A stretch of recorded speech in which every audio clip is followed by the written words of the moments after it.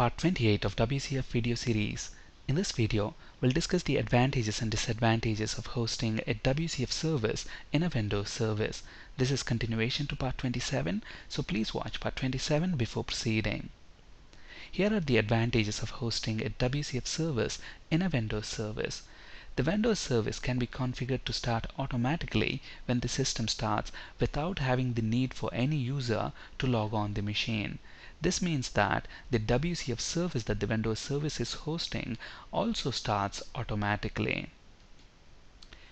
In the previous session of this video series, we have created this Hello Windows service and we installed it on this machine. So if you look at the properties of this Hello Windows service, notice that here we have startup type and that is set to automatic.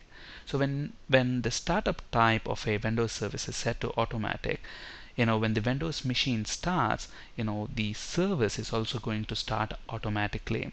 There is really no need for any user to log on the machine. The moment we reboot the machine you know this Windows service is going to automatically start.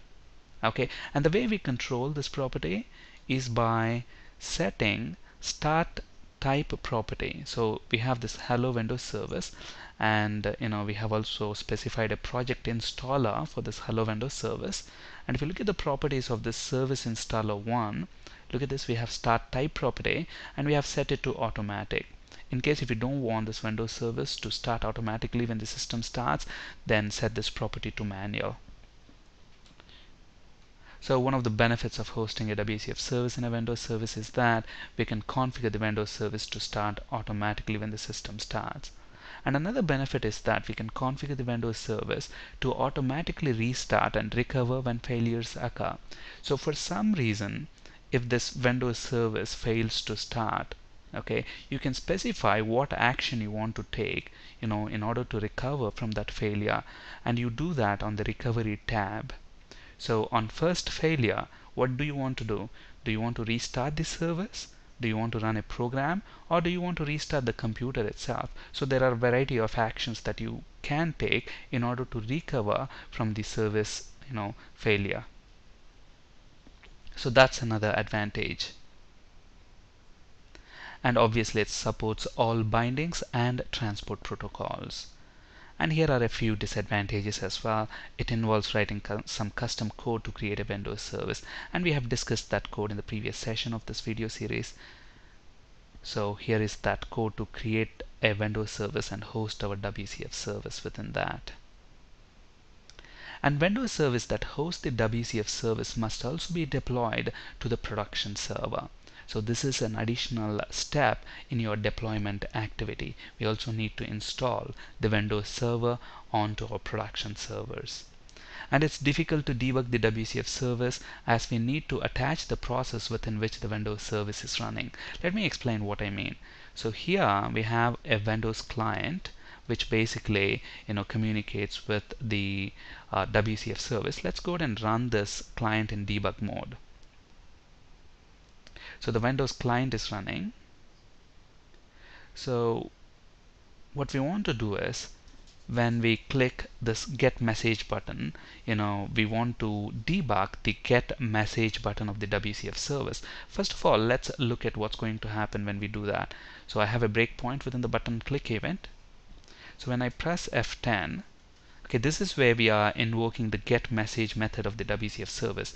Now let me press F11 to step into get a message and see what's going to happen. Look at that, we get a message unable to automatically step into the server. The remote procedure could not be debugged. This usually indicates that debugging has not been enabled on the server. Okay, the reason why we are not able to debug here is because we need to attach the process within which you know the Windows service is running. Okay, and in order to do that, let's actually allow this to run so we, we get the response back, hello test. So now we need to attach to the process within which the Windows service is running. And here you should say our hello Windows service. So if you look at the WCF service, so our project name is Windows Service Host. So there will be an executable with the same name within which our Windows service is running. So within the Visual Studio attached to process window you should say an executable with that name Windows Service Host so here Windows Service Host dot executable. Now just in case if you don't see that on your machine, make sure these two checkboxes are selected. Show processes from all users, show processes in all sessions and click attach. And now let's try to debug it. So test 123 and let's click get message once again.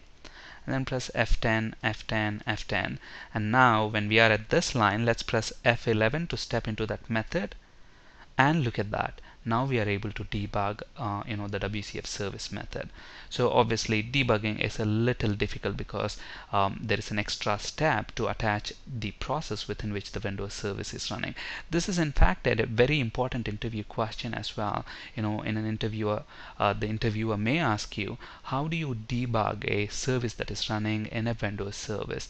Um, you can say that you, you know open Visual Studio and then attach the process within which the Windows service is running okay? And the way you do that is by going to debug attach to process and then you select the executable within which the Windows service is running. Alright? That's it for today. Thank you for listening. Have a great day